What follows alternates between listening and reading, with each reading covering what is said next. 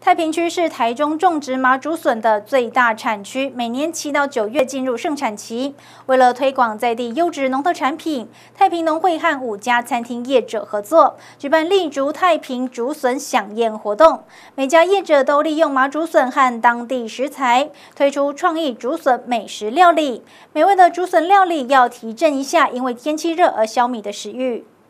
太平农会三巨头戴起厨师帽，总干事余文清当起大厨，现场操刀示范起美味的竹笋料理，来替今年的竹笋飨宴打头阵。说太平的优质农产不能错过的美味料理之一就是麻竹笋，农会和五家餐厅业者跨域合作，推出竹笋飨宴，希望让民众品尝到美味的佳肴。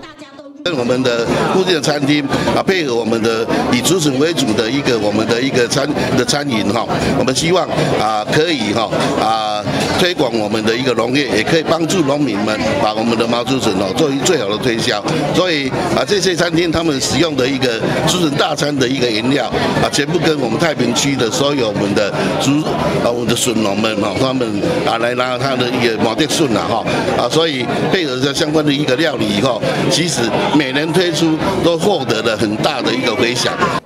不管是竹笋做成的鲜果沙拉，还是和木瓜丝搭配做成泰式青丝柠檬鱼，爽口又开胃。还有这一道笋香绣球翠绿露泰式打抛笋香米糕，餐厅业者利用麻竹笋和当地食材，发挥创意，做出色香味俱全的竹笋美味料理。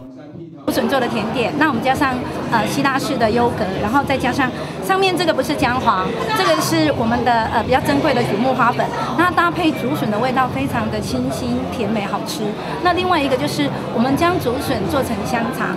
然后呃把它包进我们这个呃甜笋点里面。那整个呃包含竹笋米肠，然后包裹在呃笋子的呃就是粽叶里面，它再下去蒸，那味道很特别，也很好吃。青木瓜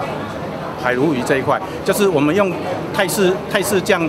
加上青木瓜部分来做一个鲈鱼的一个做烩淋的动作，这样子。那另外还有一道是我们的创意菜。还有我们的创意菜，就是我们古早味的玉龙鸭，那结合呢面包的部分跟跟这个笋子的部分跟蔬菜呢，然后来做一个搭配的组合。两只毛竹笋哈，还有我们的冷冻荔枝啊哈啊，那时候我们还有冷冻荔枝，现在荔枝已经啊不是产期了，我们还是有说就这种冷冻荔枝，还有我们蜂蜜的一个我们的一个啊纯水果的一个冷饮，还有我们的以竹笋为主要做的一个我们的一个竹笋香肠哈，还有我们的啊。啊，竹笋泡菜了哈，等等等了哈，啊，其实哈，啊，我们今天我们这次我们的赠送的真的非常多哈。农会表示要让民众品尝到太平麻竹笋清脆香甜的好滋味，而配合庆祝父亲节，只要民众预定在八月一日用餐，农会还准备了鲜竹笋、蜂蜜冰饮等农产美食送给民众，数量有限，想的民众手脚可要快。